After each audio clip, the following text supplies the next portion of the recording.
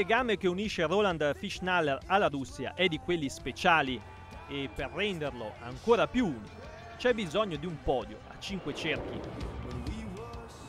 L'edizione 2014 dei giochi vedrà tra le tante discipline proposte anche lo snowboard parallelo che a livello azzurro ha da tempo un leader incontrastato. Il 33enne di Funes Roland Fischnaller non è solo il numero uno italiano delle prove di speciale gigante, ma è anche tra i primi interpreti a livello internazionale, come stanno a dimostrare i recenti traguardi raggiunti in carriera.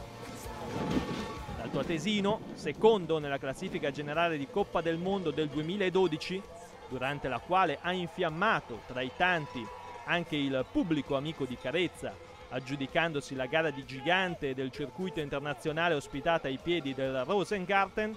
si è confermato nella passata stagione, avvicinandosi ancora alla sfera di cristallo generale, nuovamente secondo, ma conquistando di contro quella di slalom parallelo. Il piazzamento che gli ha permesso di ottenere questo prestigioso risultato si è concretizzato sulle nevi di Mosca,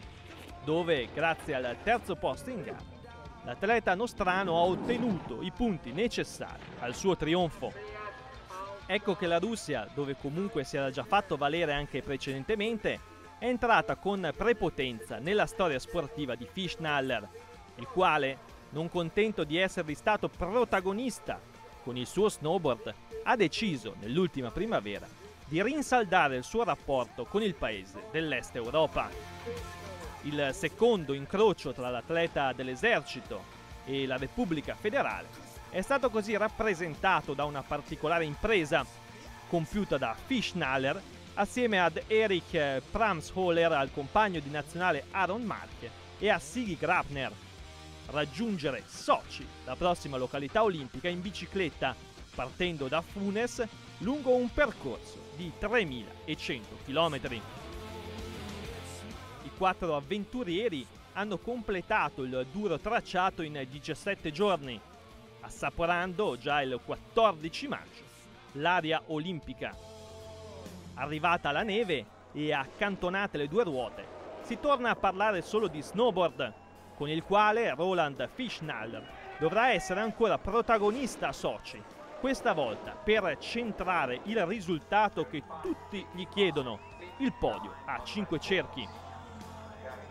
sono fiducioso e ho la certa esperienza anche di, di, di, in, nei eventi grandi, quello che ho già dimostrato nei mondiali scorsi. È, è una pista che, che, va bene per le mie caratteristiche, però mi, non mi faccio pressione se va bene e riesco ad andare a, a fare una medaglia andare sul podio, sono contento, se no sicuramente era una bella esperienza e sono felice lo stesso.